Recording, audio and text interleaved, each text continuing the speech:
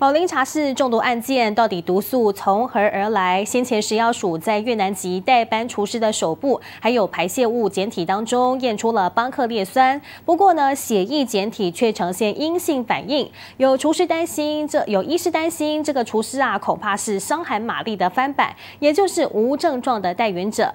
毒物专家则是建议，应该要针对排泄物检体进行细菌培养。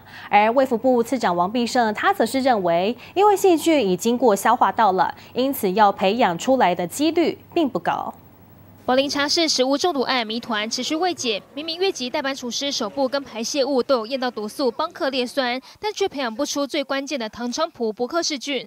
卫福部次长王必胜说，这是一则以喜，一则以忧。好的方面是这种细菌在台湾并不常见，但到底怎么出现还没找到答案。有医师怀疑这名厨师会不会像是美国第一位被发现伤寒健康代言者伤寒玛丽，也是天选之人？会不会是像伤寒玛丽，就所谓的带菌者，几乎没什么症状？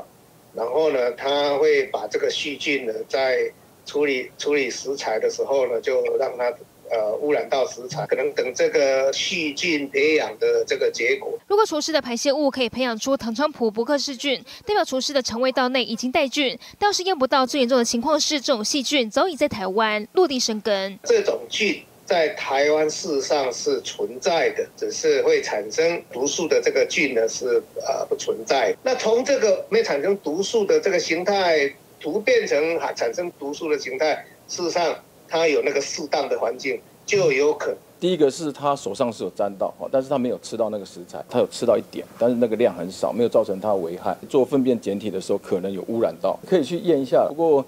都已经经过他消化道培养出来的几率是相当低的。而目前宝林案还有四例重症，仍有生命危险，其中三人恢复意识，评估是否换肝，还有一人深度昏迷，使用呼吸器。即便源头再难找，由于中毒事件就是在宝林发生，因此卫福部就责宝林不会改变。记者魏庭瑜、林宇综合报道。